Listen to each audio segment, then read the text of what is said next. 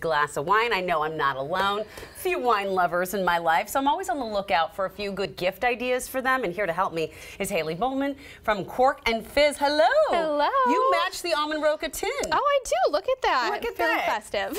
You were just, and you and we were both. By the way, we have an idea for you, almond roca. Before we get to wine, we want you to bring back. oh yeah, the vintage tin. Bring back the Yeah. vintage tin. We're all here for that. We think that's a great idea. Yes. Um, other gift ideas, though, include wine. Yes. Okay, I'm super excited to show some of these to you. The first one I thought of you when I saw it. Uh, everybody's been asking, what the heck is this? Um, and this is called a vocho. Okay. Um, and so basically this part comes off and it goes in the freezer. Okay. And then you stick it to the stand here. And I know you like your white wine very cold, perhaps ice cold, perhaps. She's calling me out. Nothing wrong with I with told her a little secret. Sometimes I add white ice to my white wine, but I don't But have to anymore. You don't have to. So this goes in the freezer, like I said, you have three hours minimum, and then otherwise I just store it in the freezer when I'm not using it. And then simple as this, you stick your white wine glass in there, or honestly, I use it for red if I forgot to get a little chilled. Yes. Um, but yeah, it keeps your wine nice and cold for you, and you don't have to dilute it with a, an ice cube. Thank you for that. This is the best gift ever. and then they also have a stemless as well, if that's your preferred uh, drinkware uh, at home. And this is why we love Hailey. Uh, remind us though what you do at, at Cork and Fizz. Yeah, so I run a wine tasting business. That's Mm-hmm. my biggest thing. I want to teach people about wine, make it approachable, and make it fun. Yes. Um, so speaking of other gifts, I have a little setup here to kind of demonstrate Oh. what that tasting looks like. Um, Okie dokie. and please feel free. I'm not going to have wine here and not have you drink it. Well, so these are Sauvignon Blancs in the I- white wine glass. she loves me. I know what to do. Um, but yeah, so this is a little setup here. I am offering uh, private tasting gift cards and vouchers if you know someone in your life who prefers like the experience style gift Yes. um, over the, the thing or the item. I think that an experience style gift is something that, that you can get someone who has everything. Yes, no, absolutely. or someone who doesn't want clutter, right? They already have so much stuff. clutter. and, and I will say this is that because it's you. And because I love how Cork and Fizz is, so approachable, this is something I would get someone who maybe wasn't even really into wine Yeah. to give them an idea because you have that ability to like make us like things that we might not like normally, like some of these different wines. So what have we got here? So I have, so like I said, in the white is a Sauvignon Blanc. Okay. Um, and then we have in the middle, that's a very unique wine. It's called Pais. It's from Chile.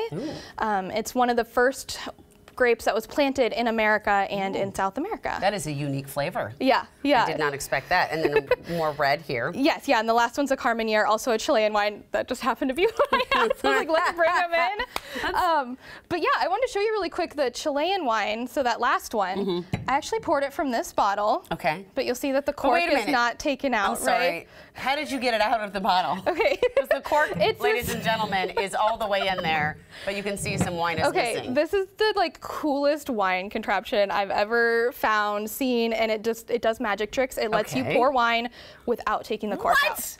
All right, let me see this. Okay, so basically how it works, you're just gonna pull it down and there's a needle here that's hollow. We're gonna push the needle through the cork here. I have got another wine glass to demonstrate. Um, and then it pushes argon gas into the bottle.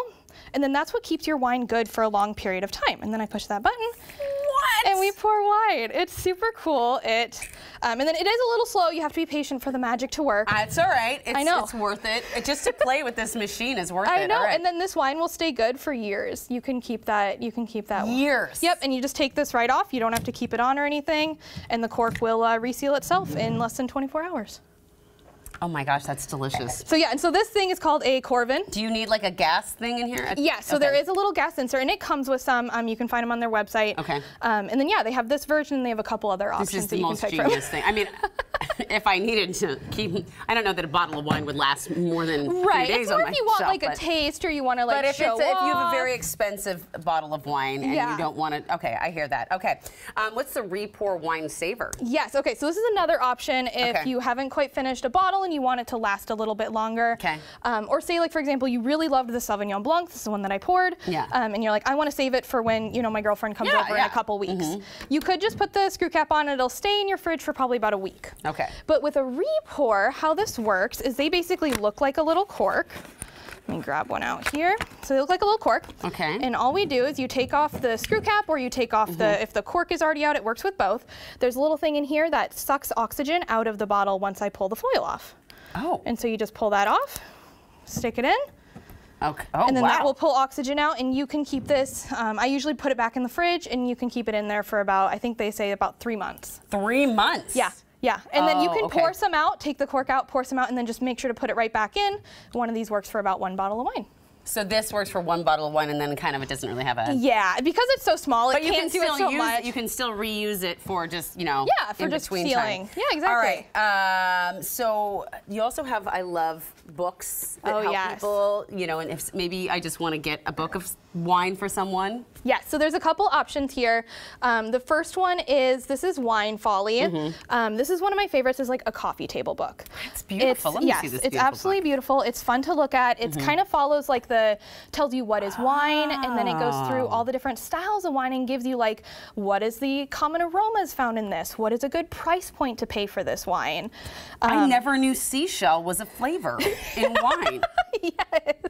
Who yeah. knew? Yeah, and so it shares all that. I feel like it's very approachable. It's great for beginners in wine and people who want to learn more, or wine uh, aficionados like myself. I always go to this book when I want to kind of just get a review of a certain wine. I love this. Yeah. I, it- doesn't matter. I, really love this. Oh wow, this is a great book. Yeah. Wine Folly. I know who I'm getting this one for. And then you've got wine Yes, food. and then the last one is for someone who loves to cook as much as they love wine.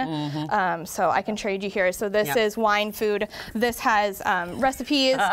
this is what I need. I just need food to pair with my wine. Exactly. It gives you a recipe, and for each one, it gives you a style of wine um, to pair with it. It is one of my go-tos when I'm having people over and I want to cook something special and have a good wine to pair with it. I love it. I also love your earrings. They're Oh, so thank cute. you. I don't know if y'all noticed. She's got little wine bottle yes, earrings. these are available. I sell these on uh, you Cork and Fizz. too? Yeah, I have a, a local crafts person that makes them, and I sell them. Oh. And, and so yeah, so I have all these gifts plus over like 60 more on a holiday gift guide that I created. So if people want to find that, you can find it on my Instagram or on my website, Cork and Fizz. Thank you so much. You always make this so much fun, and there are so many you. fun things. Cheers to you, my friend. Cheers. And I'll tell you this. Oh, and, and try that almond milk. Yes, absolutely. She will. All right.